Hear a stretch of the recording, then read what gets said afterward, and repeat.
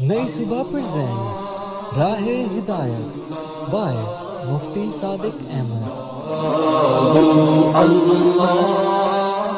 سامعین کرام، آج ہم بات کریں گے آپ صلی اللہ علیہ وآلہ وسلم کی سنت کی اہمیت اور سنت کے فوائد کی۔ سب سے پہلے یہ بات جان لینی چاہیے کہ ہمارے لیے سب سے بہترین ہدایت رہنمائی اور سب سے اعلیٰ درجہ کی تعلیم قرآن کریم ہے۔ اسی طرح سے دین اسلام میں سنت کی بھی وہی شرعی حیثیت ہے جو قرآن کی ہے۔ اس لیے کہ سنت قرآن کریم کی تفسیر اور تشریح ہے۔ قرآن کو سمجھنے کے لیے سنت کو نظر انداز نہیں کیا جا سکتا۔ سنت کے بغیر قرآن کا سمجھنا اور اس پر عمل کرنا مشکل ہے۔ زندگی کے ہر معاملہ میں قرآن و سنت پر عمل کرنا ہدایت و کامیابی کی ضمانت اور ان کو ترک کرنا ضلالت، گمراہی اور نقصان کا باعث ہے۔ سامعین کرام، مسلمانوں کو تمام عمر جس بات کا سب سے زیادہ اہتمام کرنا چاہیے۔ وہ ہے اپنے تمام حرکات و سکنات، مثلا کھانا پینا اٹھنا بیٹھنا، سونا جاگنا اور ہنسنا رونا وغیرہ، یہاں تک کہ جب بندہ قضائے حاجت کو بھی جائے تو اپنے رسول صلی اللہ علیہ وآلہ وسلم کی سنت کو مد نظر رکھتے ہوئے جائیں۔ چنانچہ رسول صلی اللہ علیہ وآلہ وسلم کی سنت پر عمل کرنا اور صبح سے لے کر شام تک اپنی ساری کی ساری زندگی کو آپ صلی اللہ علیہ وآلہ وسلم کے طریقے کے مطابق منظم کرنا ہر انسان کے لیے ضروری ہے۔ سامعین کرام، سنت کی لغوی یعنی لفظی معنی طریقہ یا راستہ کے ہیں۔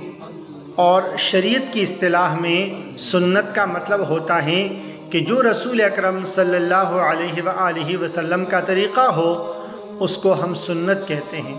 سنت تین قسم کے ہیں۔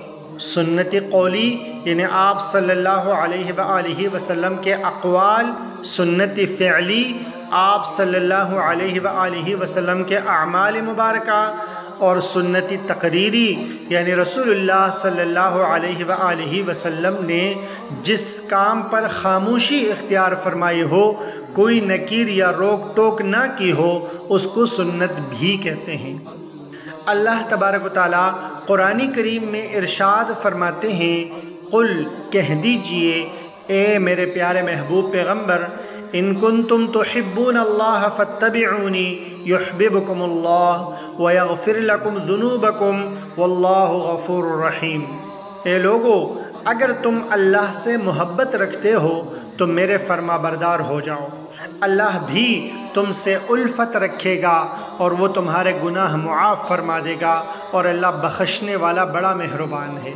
ایک اور مقام پر اللہ تبارک و تعالیٰ کا ارشاد مبارک ہے، من یطع الرسول فقد اطاع اللہ جس نے رسول کا حکم مانا، گویا کہ اس نے اللہ کا حکم مانا۔ سامعین کرام، یاد رکھو، اگر رسول سے محبت کا دعویٰ ہم کرتے ہیں، تو اللہ کی رسی کو مضبوطی سے تھامنا ہوگا۔ اس کے رسول کی اطاعت کرنی ہوگی۔ احادیثی مبارکہ پر عمل پیرا ہو کر اپنی زندگی گزارنی ہوگی۔ اسی میں کامیابی کی ضمانت ہے۔ اور اگر نبی کے عشق کے ہم دعوے دار تو ہوں، لیکن اعمال ہمارے نبی کی سنت کے مطابق نہ ہو، تو یقیناً یہ خسران، نقصان اور گمراہی کی بات ہے۔ سامعین کرام، سنت پر عمل کرنے کے فوائد یہ ہیں کہ سنت پر عمل پیرا ہونے سے بندی مومن کو اللہ تعالیٰ کی محبت نصیب ہوتی ہے۔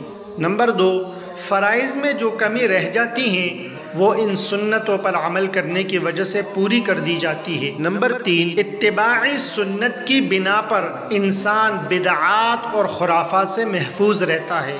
نمبر چار، سنت کی پیروی کرنا شعائر الہی کے احترام کا حصہ ہے۔ نمبر پانچ، سنت پر عمل کرنے والا انسان اللہ کے یہاں ہمیشہ محبوب ترین انسان بن جاتا ہے۔ نمبر چھ، سنت پر عمل کرنے سے زندگی خوشگوار بنتی ہے۔ سامعین کرام، ہمیں آپ صلی اللہ علیہ وآلہ وسلم کی سنت کی مکمل پیروی کرنی چاہیے اور جو قرآن کریم میں اللہ تبارک و تعالیٰ نے فرمایا وما آتاکم الرسول فخذوه وما نہاکم عنہ فانتہوا کہ جو کچھ تمہیں رسول صلی اللہ علیہ وآلہ وسلم عطا کرے وہ لے لے اور جس سے منع کر دے اس سے دور ہو جائیں۔ اور نبی کریم صلی اللہ علیہ وآلہ وسلم نے ارشاد فرمایا، علیکم بسنتی و سنت الخلفاء الراشدین المہدیین۔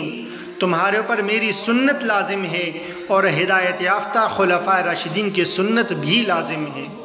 سامعین کرام، ہمیں یہ عہد کرنا چاہیے کہ اپنے پیارے نبی اکرم صلی اللہ علیہ وآلہ وسلم کی پیاری پیاری سنتوں پر عمل پیرا ہو کر اپنی دنیا اور آخرت کو سواریں گے۔ اللہ رب العزت ہم سب کو عمل کرنے کی توفیق عطا فرمائے۔ السلام علیکم ورحمۃ اللہ وبرکاتہ۔ الله.